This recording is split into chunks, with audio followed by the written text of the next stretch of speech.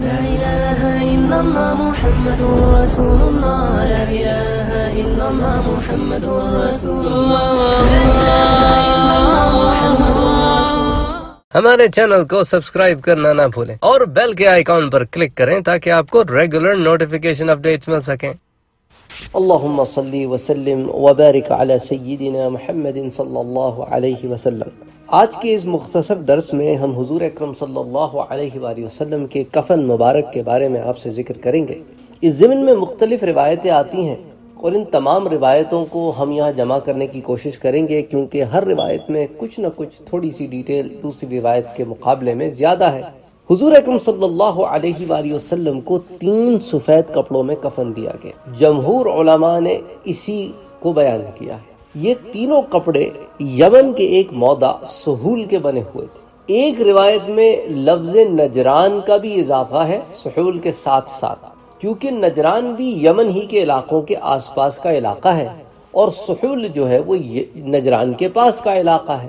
تو نجران چونکہ زیادہ مشہور جگہ ہے اس لیے نجران کا ذکر کر کے پھر سحول کا ذکر کیا گیا ہے۔ اور بعض روایتوں میں سحول کا ذکر ہے۔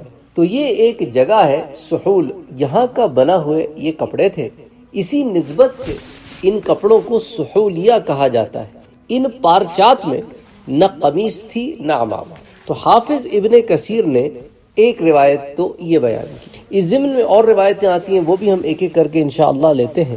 بخاری شریف میں اسی طرح امام مسلم نے اس کو کتاب الجنائز میں، بخاری شریف نے بھی کتاب الجنائز میں موتا امام مالک میں، مسند امام احمد میں جو روایتیں آتی ہیں یا جو روایت ان تمام کتابوں میں آتی ہیں، وہ بھی میں آپ کے سامنے پیش کر دیتا ہوں کہ ہشام بن عروہ نے اپنے والد سے یعنی عروہ سے، اور انہوں نے حضرت عائشہ صدیقہ رضی اللہ تعالی عنہ سے نقل کیا کہ رسول اکرم صلی اللہ علیہ وآلہ وسلم کو مقام سحولیہ کے تین سفید سوتی کپڑوں میں کفنایا گیا۔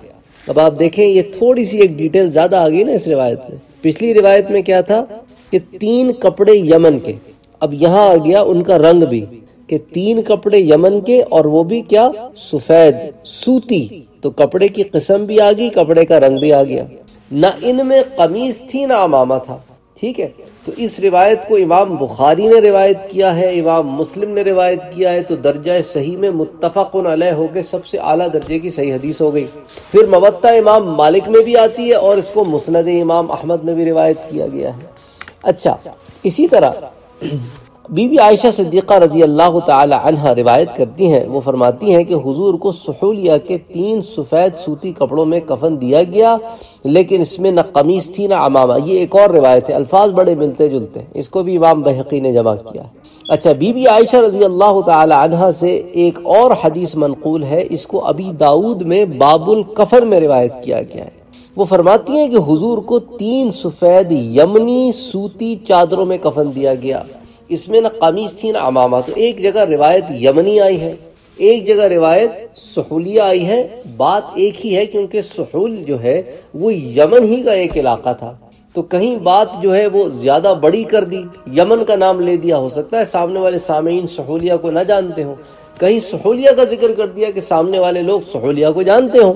تو یہ روایتوں میں اختلاف نہیں ہوتا، بلکہ یہ مختلف روایتیں ہوتی ہیں، مختلف وقت کی جاتی ہیں۔ سامنے والے کو دیکھ کے کی جاتی ہیں۔ ٹھیک ہے۔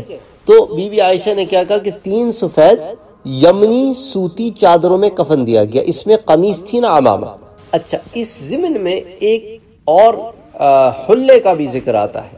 کیونکہ حضور اکرم صلی اللہ علیہ وآلہ وسلم کو جب نہلایا گیا تو اس کے بعد آپ کو قمیص گیلی ہو گئی تھی، کیونکہ آپ کو تو کپڑوں سمیت غسل دیا گیا تھا۔ تو ایک یمنی چادر میں، حلے میں لپیٹا گیا تھا۔ اس کا ذکر بھی آتا ہے کتابوں میں، ٹھیک ہے؟ تو اب شبہ پیدا ہوتا ہے کہ وہ حلے کا کیا ہوا، کیا وہ بھی کفن کا حصہ تھا یا پھر یہ تین چادریں تھیں، یہ تین چادریں اس حلے میں سے ہی تھیں یا یہ الگ سے تھیں؟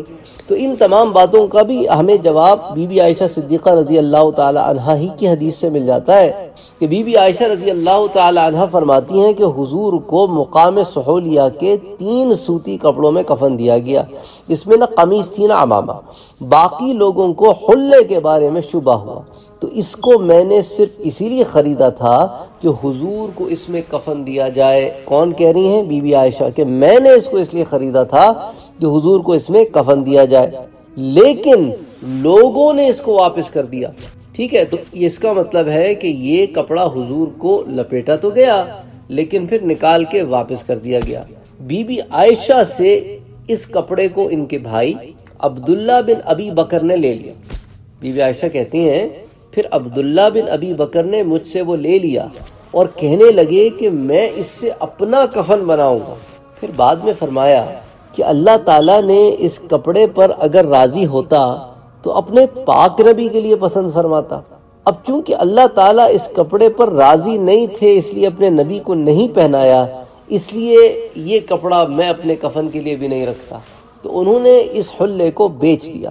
اور اس سے جو قیمت حاصل ہوئی اس کو صدقہ کر دیا۔ اگر کسی کے ذہن میں اشکال ہو کہ انہوں نے پتہ نہیں کتنے مہنگے بیچا ہو، کیا ہوا ہو، کوئی منفیت تو حاصل نہیں کی، معاذ اللہ۔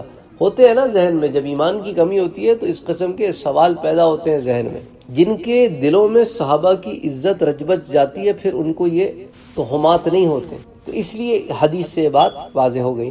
اچھا اب سوال یہ پیدا ہوتا ہے کہ یہ چادریں بی بی عائشہ ہی کی تھیں یا بی بی عائشہ کو اپنے میکے یعنی حضور کے سسرال سے ملی تھی۔ اس ضمن میں امام مسلم ایک روایت لے کے آتے ہیں کہ بی بی عائشہ سے نقل کرتے ہیں، وہ فرماتی ہیں کہ حضور کو یمنی چادروں میں کفن دیا گیا۔